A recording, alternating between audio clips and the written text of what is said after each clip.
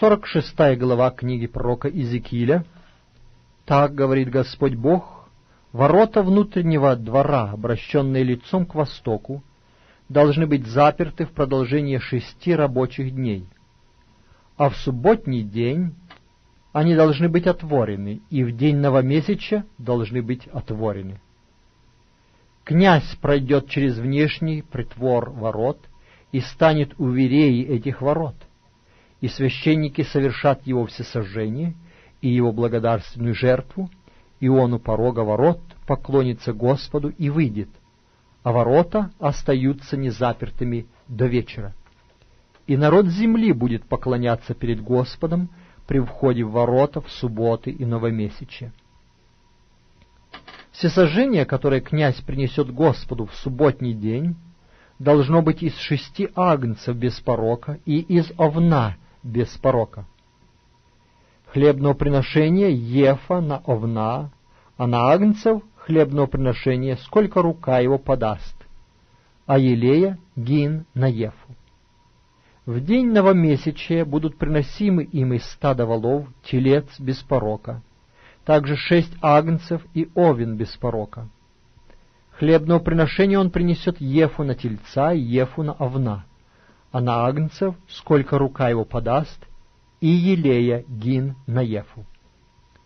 И когда приходить будет князь, то должен входить через притвор ворот и тем же путем выходить.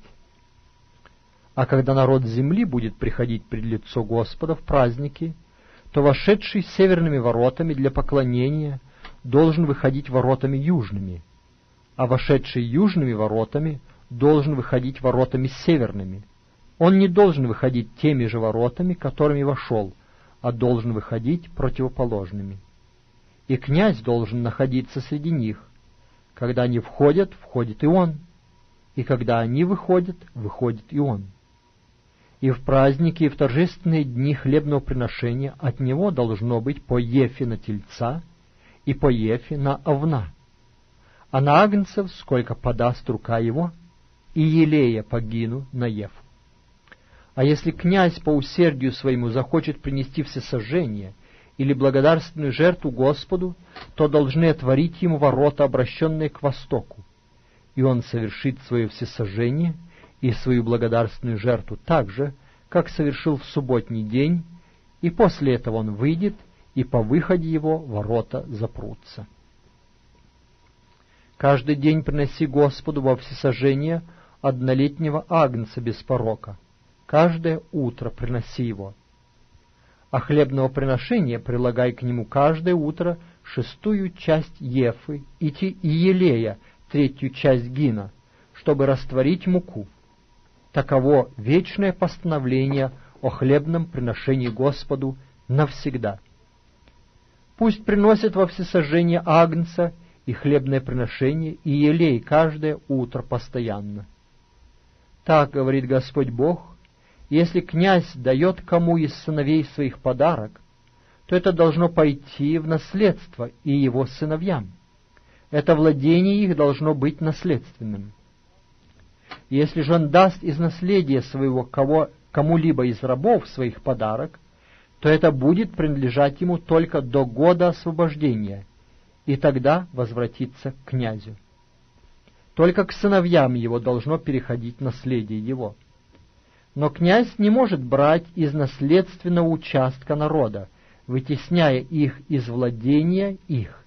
Из своего только владения он может уделять детям своим, чтобы никто из народа моего не был изгоняем из своего владения.